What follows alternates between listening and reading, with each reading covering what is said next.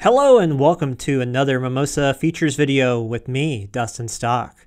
So today we're going to be talking about new major Mimosa software features coming in Q2 of 2020. There are several for software release 253, which is only applicable for the A5C and A5.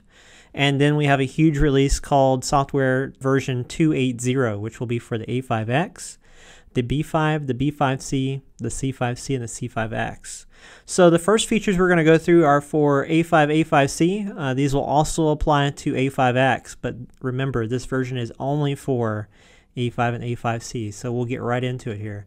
So there's a feature that you guys have been asking for for a very long time. It is called da da da da dun dun 7525 traffic split. Yes, that's right. We we finally have 75-25 traffic split. You can do either gender A or gender B, just like you can with 50-50. Uh, uh, huge, huge speed improvements for folks using 7525. We've got uh, many beta customers using this already. We've used it here in the office, out in the field, and it's just astronomical changes for download speed for customers. So we hope that you'll enjoy 7525 for your your radios, and hopefully your customers will enjoy that as well. Um, the next feature is also something else that's been asked for for a long time, and that is basically disabling the Ethernet port. We're calling it service suspension. So we'll go to a client radio here. We'll go to the link page. And on the link page under rate limit, we have disabled data traffic. So what that means is anything behind the C5 will not be able to connect to the internet. You can still reach the radio from behind the Ethernet port using the management IP, but no one can get to the internet when this is enabled. So if somebody doesn't pay their bill and you're not set up on a program like Sonar or Azotel or Preseem or, or something that controls data rates for people, log into the client and just flip the switch here and, well, they can't get on until they pay your bill. And then the final feature for 253 is the host information table. So you go to clients, host information.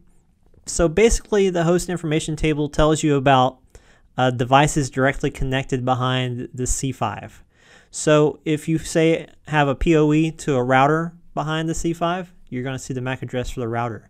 If you, from the PoE you have a switch that then connects to multiple routers, then you're going to see entries for each of those routers behind the C5. Or if you don't use a router and you just let the customer plug in a switch and connect whatever they want, you're going to have entries for every single one of those on the, the host MAC address table. As long as you're using a DHCP server to assign IP addresses. Most of you guys are doing that right now for, especially for those kinds of setups. Um, but the cool thing about this is, is that you can limit the number of hosts behind a client. So say somebody's plugging in 10 different routers or devices behind your C5 and you don't want them using up all your IP addresses. You can limit that to three or two or eight or whatever you want there to prevent them from connecting more devices than you want them to. Uh, you can also whitelist or blacklist specific host MAC addresses as well. So if they haven't paid their bill, this is another way that you can block the MAC address of their router so they can't connect to the internet. But it doesn't prevent you from accessing their radio or their router. So it's just another method of blocking them from being able to access the internet. So it's a really cool feature here. Hopefully this will help folks that have been looking for a advanced MAC forwarding table. Uh, hopefully this will help you kind of sort and see exactly what's going on. Now for software release 2.8.0. Again, this is for A5X, B5, B5C, C5C, and C5X. There is a, a whole list of features here, but there are three that I want to highlight. So let's go ahead and log into this radio here. Um, and as you can see, the UI is a little different than what you're used to. But for the first feature we want to talk about, uh, it's IPv6. So anything running 280 or newer firmware will support IPv6. So in this mode, you can do dual IPv4 or IPv6, or you can just select 4 or 6. So this definitely helps those folks out that are using IPv6 on their networks or want to start using IPv6 on their networks. The next thing, which is a huge, huge upgrade, is VLANs. So before we had very basic VLAN options for point to multipoint, um, no more. So this is for both point to point and point to multipoint in 280, where you can actually go in and configure VLANs. Um, you can forward all, forward untagged frames, insert VLAN tag and forward or drop. So you have lots of new VLAN options here to actually do what uh, has been asked before. Uh, a lot of the times customers would have to put in extra routers to make things happen. So hopefully they don't have to worry about doing that anymore.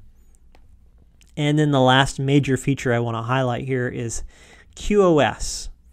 So we had some basic QoS options. Now we have some really enhanced and advanced QoS options here for you to actually, you know, do quality of service on your links.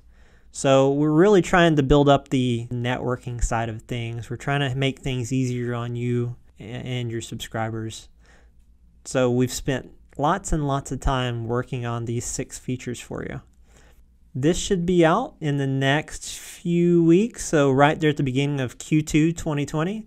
So anyway, thanks for watching, and uh, we'll see you next time on the next uh, Mimosa video.